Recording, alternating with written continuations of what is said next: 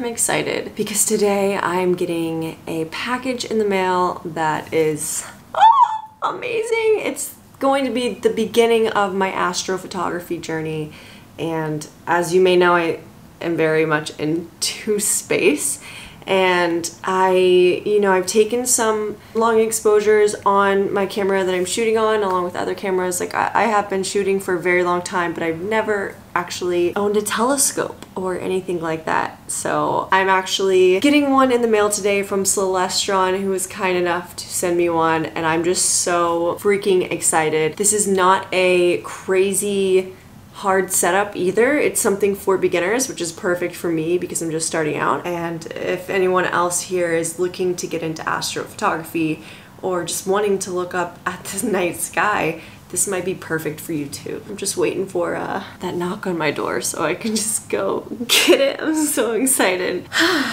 okay. I don't know what to do until then. I guess I'm just gonna hang out in my apartment, uh, do some work. I have some work to do today uh, on my computer and then I'm gonna make some lunch too. Uh, I'll see you back when the package arrives.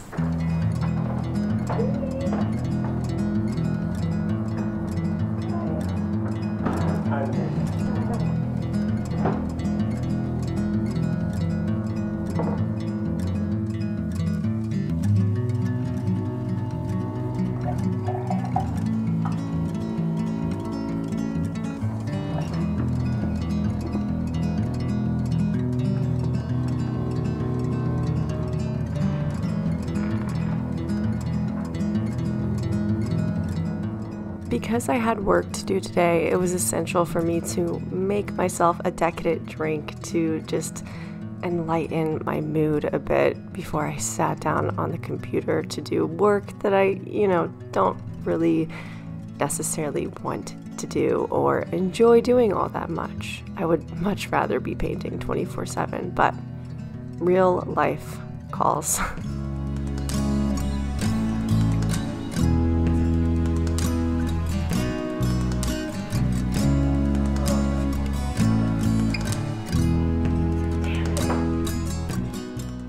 After taking a working lunch and hanging out with Bray a little bit and relaxing, I decided it was time to settle down into my little art studio and begin painting. Now, the painting I am doing today isn't anything crazy. I'm actually in the middle of prepping my new collection to be completed, and the prepping time is very lengthy.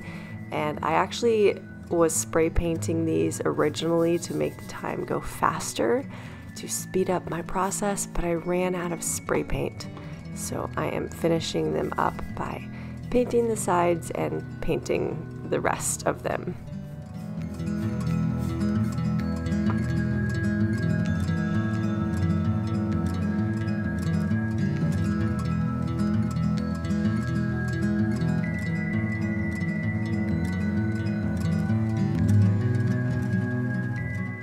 After finishing up all 10 of these pieces, it was time for a hike. I make it a point to get outside every single day and go for some type of hike. It doesn't have to be super hard. Every time it can be easy. The whole point is just to be consistent and make sure I leave the house because I went through a phase where I was just painting and I would never leave the inside of my apartment and it felt very unhealthy. So I make it a point to get out into nature every chance I get.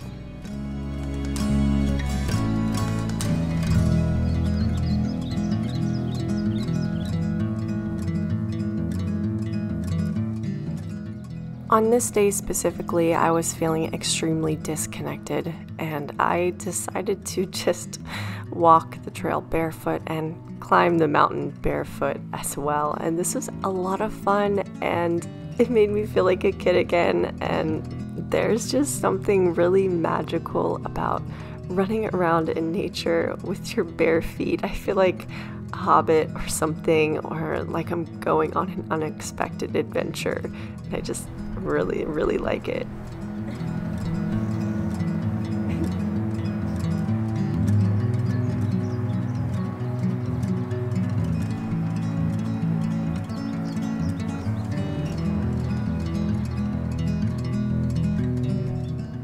I wish I could take my artwork with me outside and just paint in nature because I feel like as I've gotten older, the time in my life goes by faster, and when I'm in nature, it seems to go by a lot more slowly because I'm paying attention to all of my surroundings and appreciating new things that I've never seen and doing new things that I've never done, even if it's just taking a walk down a different trail.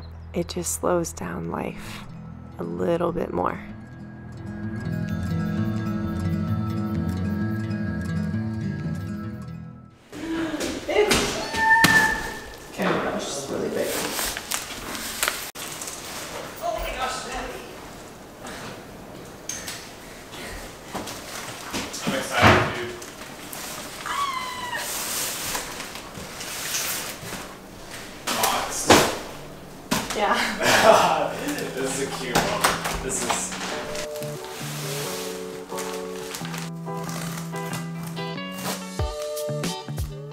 This being my first telescope, I was so excited and I also wasn't sure what to expect. I've never unboxed a telescope or have even put a telescope together, so uh, this was all new and exciting for me. My cat seemed to approve of everything too as she joined me sitting in one of the boxes.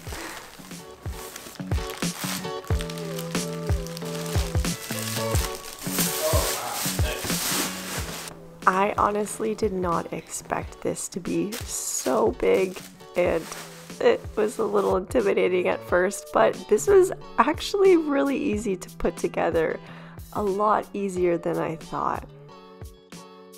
The directions that they gave me were really clear. Finding this hex key though was a little difficult. It was so tiny and well hidden that I was looking for a second, but once I figured out where it was, now I'm just wondering is this on every single tripod? Because that's pretty handy. So what I'm attaching right now is my dual axis slow motion controls and this makes it so you can move the telescope around easily and smoothly when you are on a desired target. Now for the most exciting part is adding this 130 millimeter 5 inch Newtonian reflector. The StarSense also came with a 25mm and 10mm eyepiece, which is awesome. It also came with a red dot finder scope, and this is in case you want to use the telescope without your phone's help of finding targets. But if you do want to use your phone, there's a smartphone dock that you can use while using the StarSense Explorer app. And speaking of the app, the StarSense Explorer app comes with getting one of their telescopes. And this app automatically generates a list of objects currently visible in the night sky. So you can view planets, nebulae, galaxies, star clusters, and even double stars from the city. And although the scope can be used without the app, of course, this app is going to be extremely helpful to me because I am a beginner learning the night sky more in detail. Alright, Space Fam, thanks so much for being here for the unboxing of my first telescope. It was such a good day. I will be filming a lot more with this scope in the future and shooting with it, so till then.